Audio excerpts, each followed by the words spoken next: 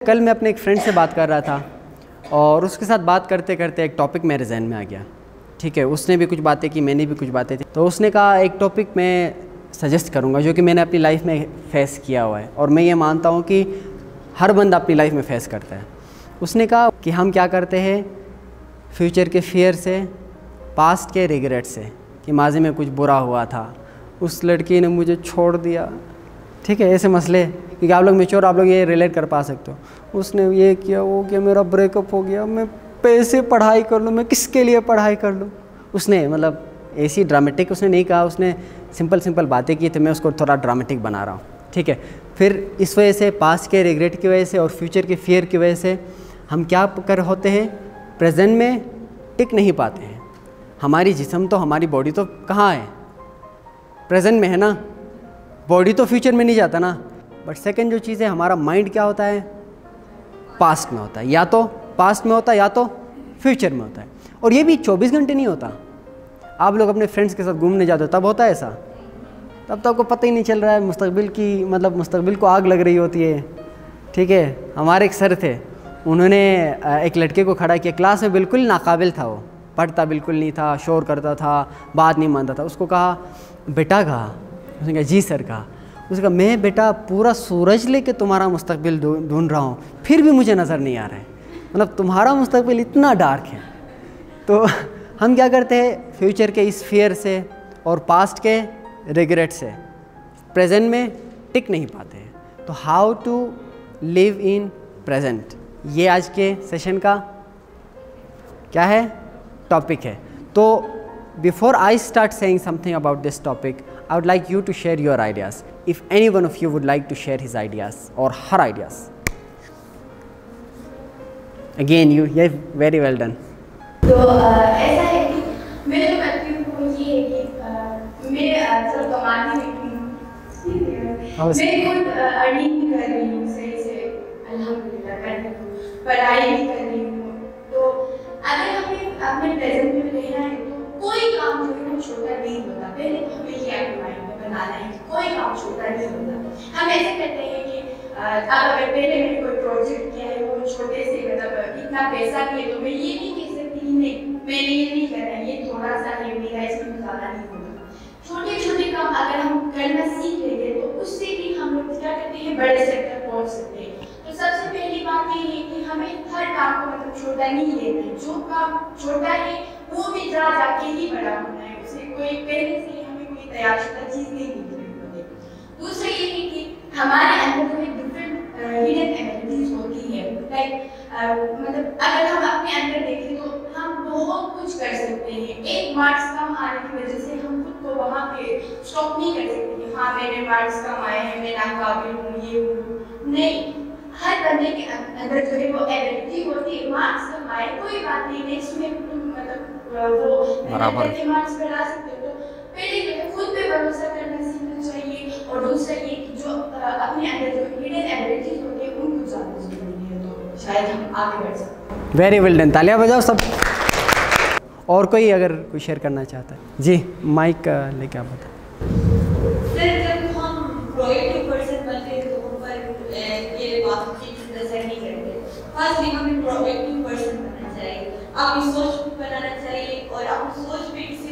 हावी नहीं देना चाहिए या कोई काम हो या कोई दूसरी चीज़ हो। एक होता है रिफ्लेक्टिव पर्सन एक रिएक्टिव पर्सन दूसरा होता है प्रोएक्टिव पर्सन रिएक्टिव पर्सन माशरे को देख के अपने इर्द गिर्द को देख के अपने आप को चेंज करता है। प्रोएक्टिव पर्सन जो काम करता है वो खुद करता है और खुद पर से सबसे ज़्यादा एतमाद होता है जिसकी वजह से वो कामयाब और रिएक्टिव पर्सन कामयाब नहीं होता है। क्योंकि उस पर लोगों के असर आप कौन से पर्सन हो? प्रोएक्टिव पर्सन हो। अच्छा आप मतलब अपनी मर्ज़ी से आपको जो अच्छा लगता है वो आपने सही सोच समझ के। नहीं कुछ जगहों पे हमें फिर देखना भी होता है ना मतलब कोई हो सकता है हम कुछ गलत डिसीज़न ले रहे होते हो और फिर हमें कोई बता रहा होता है कि हम उसका साइड भी देखना होता है। तो आप ओवरऑल जो है आपकी जो मेन डिसीज़न है वो प्रोएक्टिव है। तो इनके लिए भी तालियाँ बजाओ। आपका नाम? फुलन। तालियाँ बजाओ। जब आपका नाम बड़ा यूनिक है। फुलन, इससे यूनिक नेम और कोई आप भी बता दें कुछ। हिम्मत करो, ठीक? हिम्मत करने से ना ये आपकी कॉन्फिडेंस बिल्ड हो जाएगी खुद। बातें कुछ भी होंगी, सारी बातें गलत होती है। मेरी बातें भी, आप लोगों की बातें भी खैर है। वालेकुम सलाम।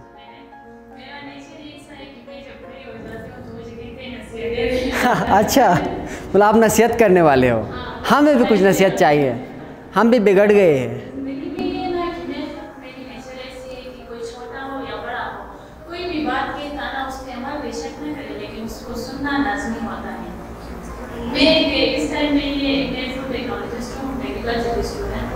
तो ज़्यादातर आजकल मैं उनको हेल्थ और फ़ूड के उस पर ज़्यादा सजेशन देती हूँ। इस फ़ील्ड में जब मैं आई सबसे पहले मुझे डिबेट किया कि ना आपके इलाके में कौन से ऐसे जॉब से या आपने क्यों रखा है? तो मेरे पास कोई सॉलिड क्यों नहीं था। मैंने कहा गवर्नमेंट जॉब्स आए ना इस लॉट है मैं कल को मुझे यहाँ पे बहुत सारे प्रोडक्ट्स बनाने सिखा रहे हैं। कल को मैं अपने लिए बिज़नेस कर सकती हूँ। वहाँ हमारे फ्रूट्स वेजिटेबल्स ऐसे घर वालों को बता सकती हूँ कि क्या खाना है क्या नहीं खाना है मैं बना सकती हूँ फिर छोटे कहते हैं ना जब आप ग्रेजुएट हो जाए इस फ़र्स्ट सेंचुरी में तो आप लोग जॉब का नहीं सोचे आप लोगों को लोगों के लिए जॉब्स निकालने का सोचे। फिर मैंने कहा कि मैं अपने लिए बिज़नेस छोटे लेवल का स्टार्ट करूँगी। उसके बाद वो जब लार्ज लेवल पे जाएगा तो फिर दूसरे लोगों को भी वहाँ पे जॉब अपॉर्चुनिटीज़ मिलेगी। तो इस लेवल को लेके मैं अपने इस फ़ील्ड से बहुत खुश हूँ और सबको यही सजेस्ट करूँ। माइक माइक आप थोड़ा करीब ले लें आपकी बातें बहुत मज़ेदार है।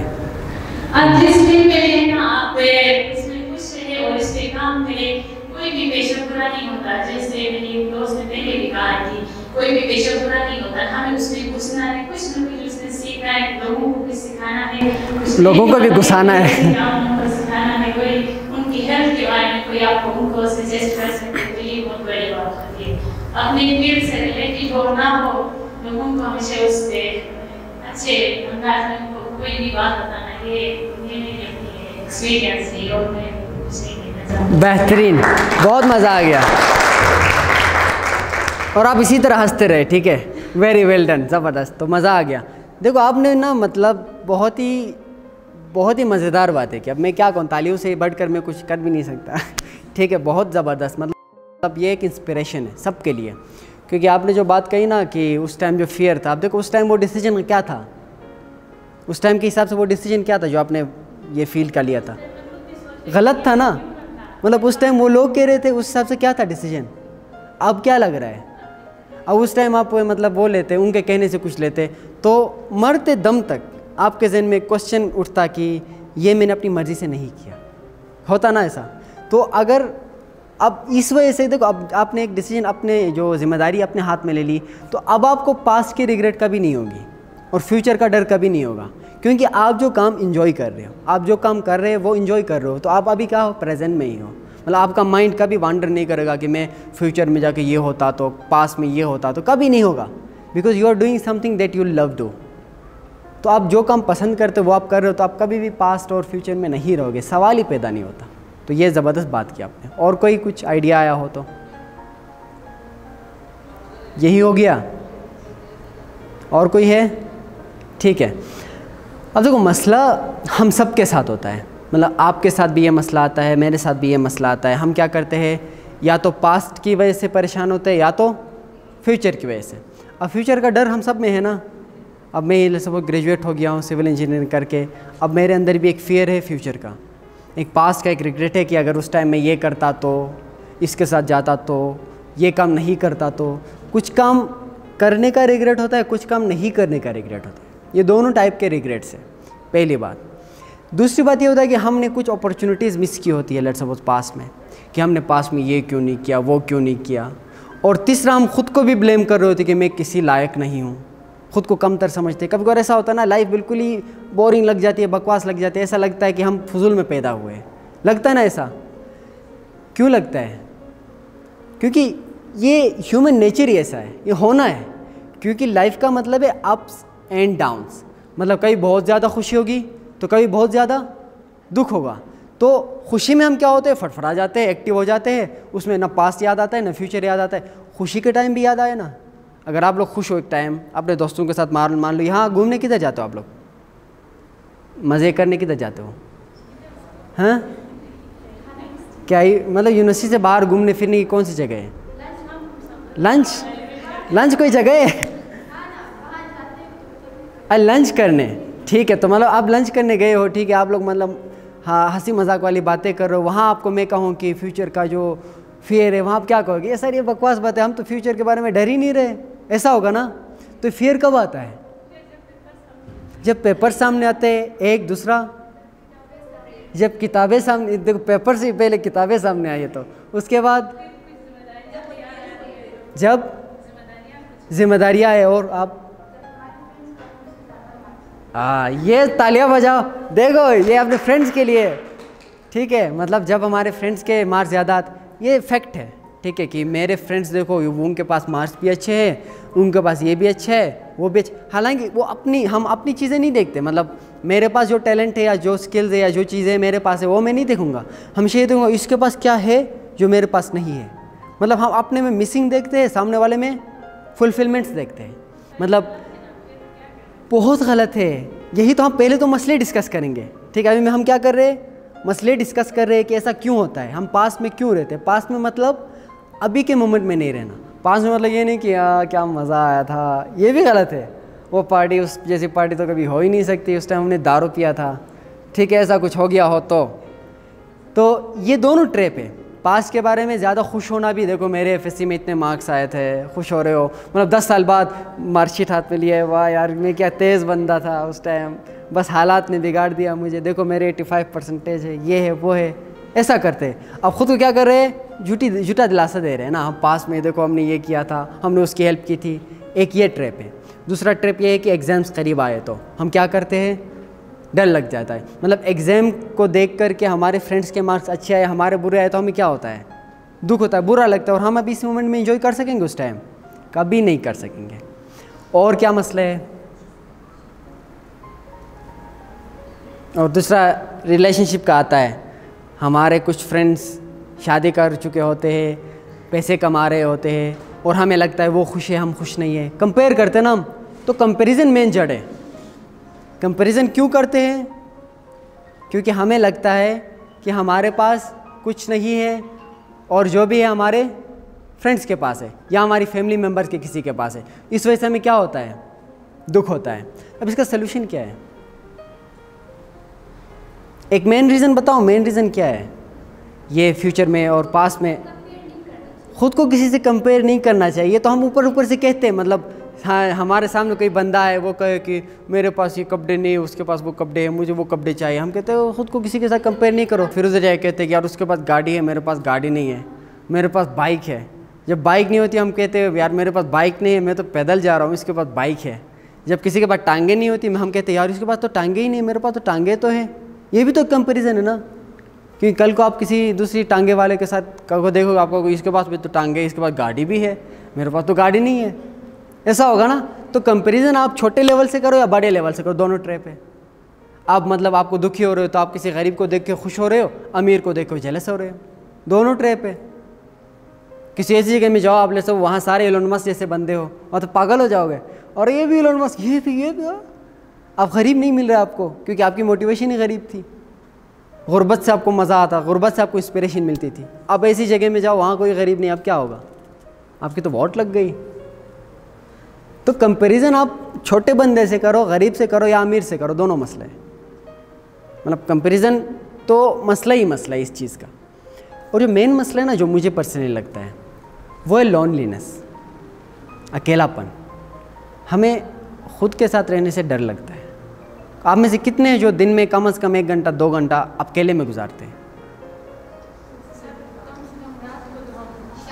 रात को सोते तो हम हम सब अकेले हैं। अच्छा सोचते आपको अकेले में सोचते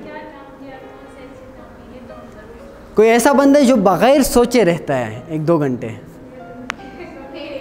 आप रहते हो? ज़बरदस्त। बिल्कुल अकेले। तो और कोई है जिनको अकेले रहने से डर लगता है?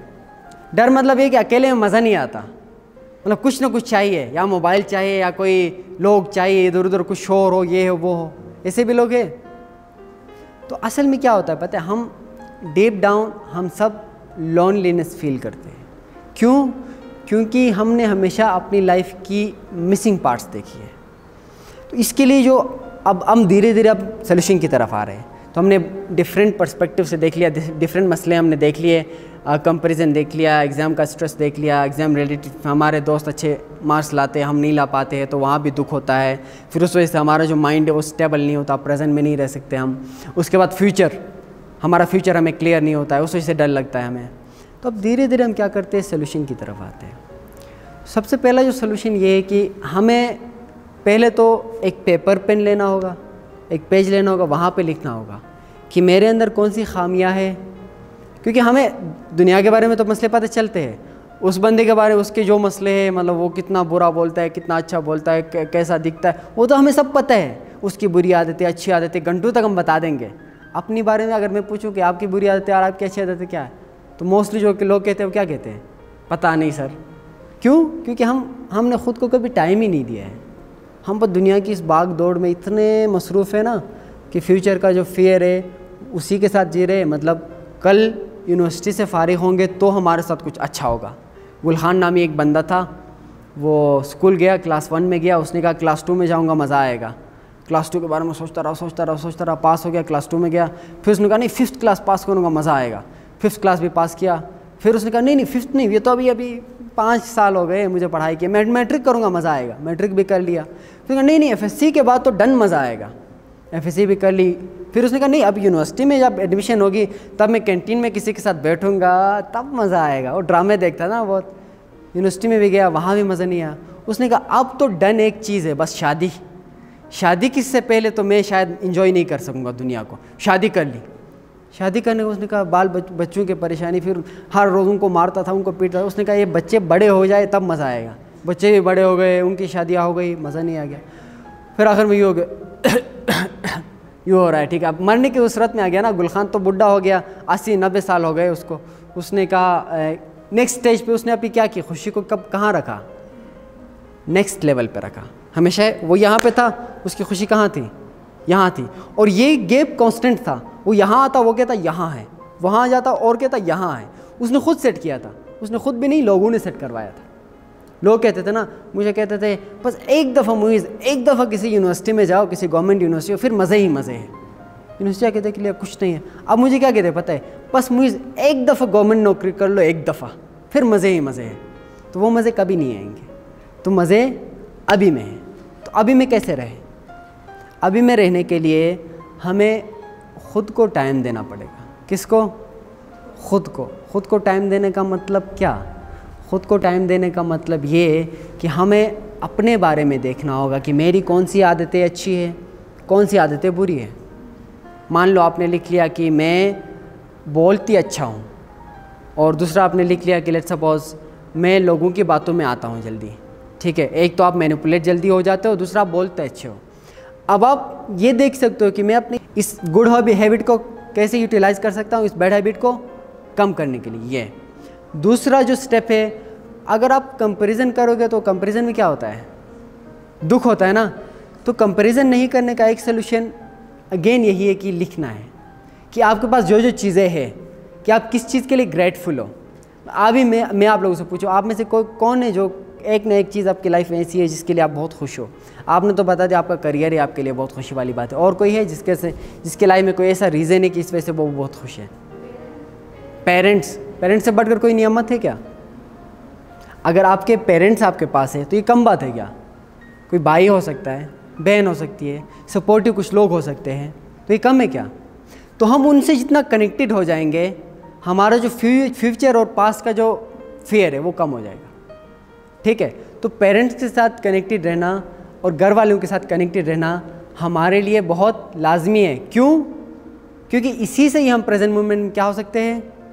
आ सकते हैं। उसके अलावा क्या कर? फ्रेंड्स दोस्तों के साथ घूमने में मज़ा आता है ना? अगर आपको मैं कहूँ, आप दोस्तों के साथ घूमते रहो, महीने में आपको पचास हज़ार रुपये मिलेंगे। तो मज़ा आएगा, नहीं आएगा? बहुत खुशी होगी ना? रात को भी घूमोगे? मतलब सोओगे भी नहीं? दिन भर ये होगा कि आप लोग बस कहाँ हैं? नौलतर में हूँ, कहाँ हो? फंडर में हूँ, कहाँ हो? महीने के आखिर में पचास हज़ार का चेक मिल जाए मिलोगे ही नहीं आप लोग, ठीक है? अब इमेजिन करो, अगर आप हफ़्ते में, महीने में ख़ुद को टाइम दे के अपने फ्रेंड्स के साथ कहीं घूमने जाते हो, ठीक है? आपको खुशी मिल रही है। तो मतलब आप महीने, अगले महीने के लिए आपका बैटरी अब क्या होगा? चार्ज होगा। तो छोटे छोटे स्टेप्स हैं। पहला हो गया क्या? लिखना।